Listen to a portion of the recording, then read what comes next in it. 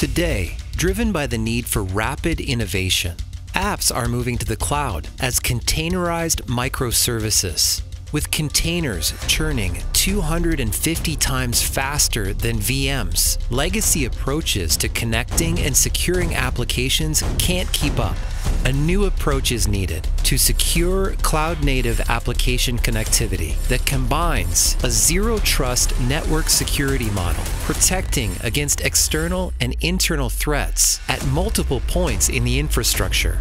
support for enterprise control and compliance requirements, operational simplicity to ensure reliability and rapid troubleshooting, support for cloud and legacy environments, from Kubernetes running in multiple clouds to monolithic applications in standalone servers, all built and supported by the experts in cloud native application connectivity.